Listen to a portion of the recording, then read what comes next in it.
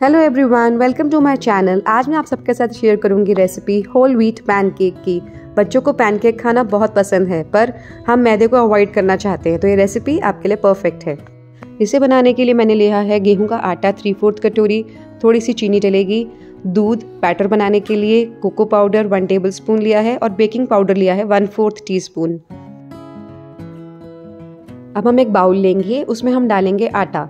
अब मैं इसमें डाल रही हूँ चीनी। मैंने सिर्फ़ एक चम्मच चीनी ऐड की है, ज़्यादा मीठा नहीं करना है इसे। अब हम इसमें डालेंगे दूध, लेकिन सारा दूध एक ही बारी में नहीं डालना। दूध को हम थोड़ा थोड़ा करके ऐड करेंगे, ताकि ये बैटर एक थिक कंसिस्टेंसी का बैटर बने। इस क्वांटिटी से लगभग चार से पाँच पैनकेक बन जाएँगे। अब मैं इसमें ऐड कर रही हूँ cocoa powder cocoa powder add करने से कलर अच्छा आएगा पैनकेक का. और थोड़ा सा बेकिंग पाउडर डालेंगे. मैंने लिया है वन फोर्थ टी स्पून इससे थोड़ा बबली टेक्स्चर आएगा इसका. अब ये बैटर रेडी है. देखिए थिक बैटर बना है. अब हम इसे ढक के पाँच मिनट के लिए रख देंगे. पाँच मिनट हो गए हैं अब. तो मैंने एक नॉन स्टिक पैन को गर्म करके ग्रीस कर लिया है.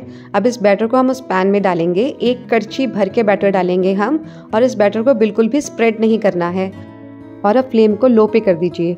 हमने इसे लो फ्लेम पे ही पकाना है। अब देखिए इसके ऊपर बबल्स आ गए हैं तो हम इसे फ्लिप कर देंगे और दूसरी साइड से भी लो फ्लेम पे ही इसे पकने देंगे। पैनकेक रेडी हो गया है। दो मिनट के अंदर हमारा एक पैनकेक बन गया है। इस बैटर को बना के आप फ्रिज में भी स्टोर करके रख सकते हैं थोड़े दिनों तक। और सर्व कीजिए हनी के साथ, चॉकलेट सिरप के साथ, फ्रेश फ्रूट्स के साथ। Lunch box, evening snacks, breakfast, सबके लिए एकदम परफेक्ट रेसिपी है। ऐसे ही इजी और हेल्दी रेसिपीज़ के लिए मेरे चैनल को लाइक और सब्सक्राइब कीजिए। Thank you